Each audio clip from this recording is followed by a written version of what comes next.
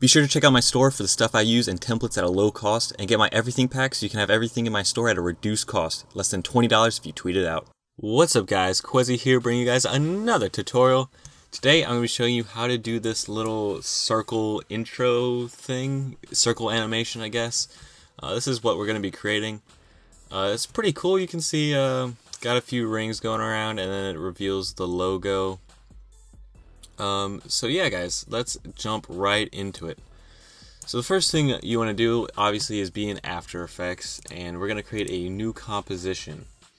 And by the way, I have a bit of a cold, so sorry if I sound different. Um, I'm going to do 1920 by 1080, and yeah, just copy these settings down. It should be the default though, and create that new comp.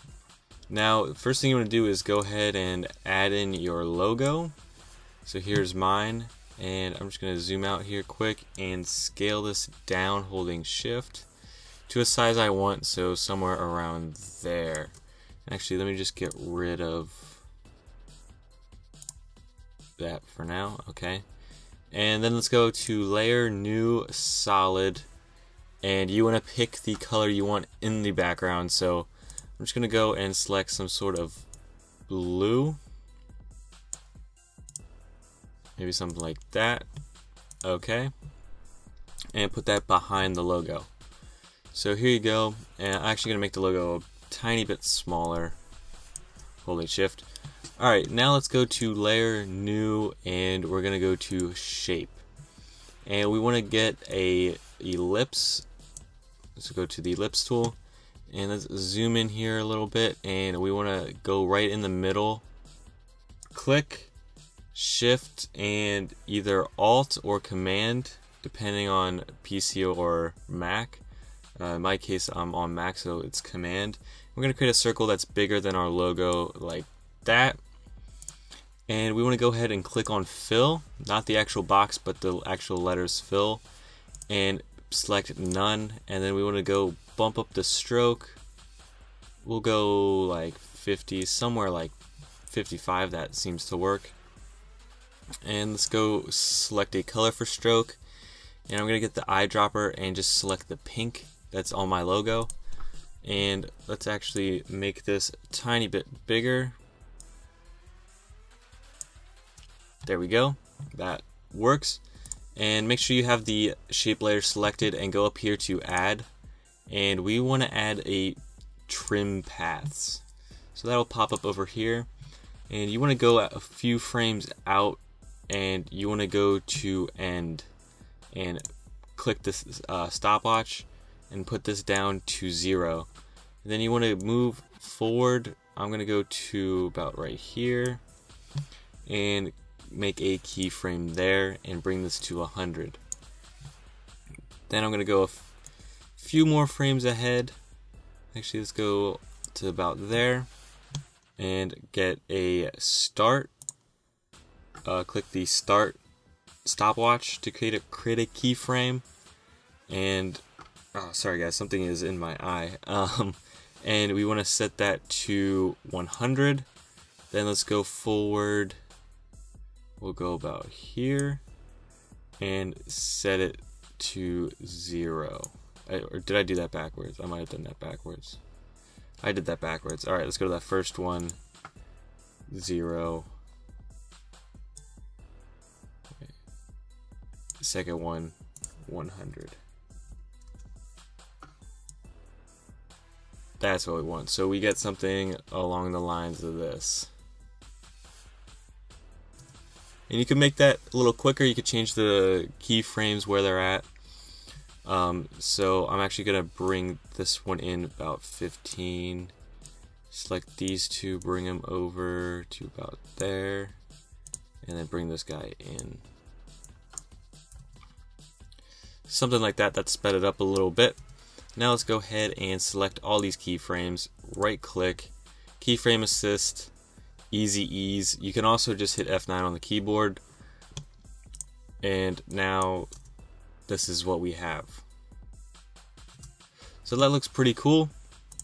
Now let's go to that layer and let's duplicate it. Let's go Control C, Control V, and let's go somewhere where we can see the path and let's go to the stroke and let's get another color. So I'm gonna keep with the color scheme and get this blue. And I'm actually gonna bump the size down. We'll go about 40. And then we'll size this whole, excuse me, we'll size this whole thing down. Somewhere around there. That works. Let's duplicate this again. And let's select another color. We'll go silvery white. And bring down the size again, holding shift. And then we just want to offset these a little bit. So we'll move that second shape layer back a little. And then the third one back even further. So there should be a slight delay like this so. That looks pretty cool. Now I'm to go to the original circle layer. So let's go about like there. Let's go to the original. Let's duplicate that guy. And let's go to the color. And we're actually just going to make that color just a little bit darker. And then we're gonna decrease the size so it's pretty thin maybe like 7 and then we'll expand this outwards so it's towards the edge. And actually let's bring up the size a little more. And then we're gonna offset that even more. Actually we'll offset the original one by a tad bit something like that there we go and excuse me. And we can do a similar thing with the white. Let's duplicate that guy. And we'll select the color. We'll make it a little darker. And we'll make it a little thinner. Then we'll offset it even more. And let's actually maybe decrease the size this time so it's a little inside. Let's see how that looks. not bad. Now we want to spice up these uh, circles because they all look the same. We want to add a little something to give them a little diversity, I guess you could say. So let's go ahead to the third one, which is in my case this bluish gray one. And we want to go to the effects and presets. Let's actually just go to effect, effect, and let's go to transition and let's get the Venetian blinds. Now, uh, let's bring up the transition completion. You can see we start getting lines in the sky. So um, let's find a place where we can see it pretty well. Somewhere like there. And let's change this angle.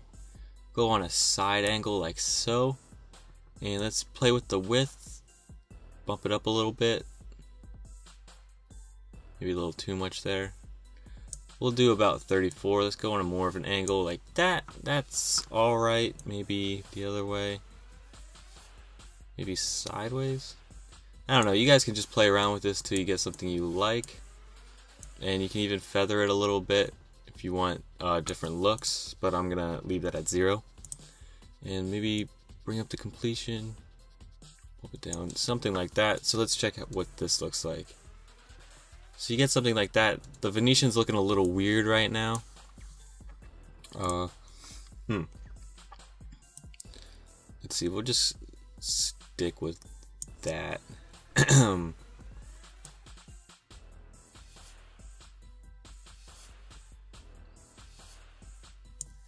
Whatever, there we go. And that looks that looks pretty good. Now, uh, this is this can't be the only thing we add because everything else still looks fairly similar. So let's go to the very bottom layer, which is the second pink one that I created. And we want to go inside this layer to go to the ellipse. Uh, let's go to, not to fill the stroke. And we want to go to dashes and press the plus. And now we want to increase the dash so we get something like this. And I actually did this on the wrong layer. this layer I want? Yeah, this is the layer I want. Let's do that again.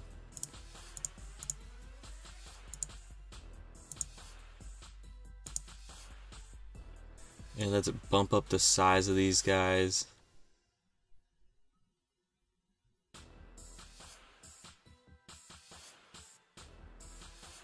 there we go. Uh, 54 seems to work. You can increase the offset if you want to try to line it up a little bit better. So I'm just going to leave that at 0 for now. And you can see if we go ahead and play through this,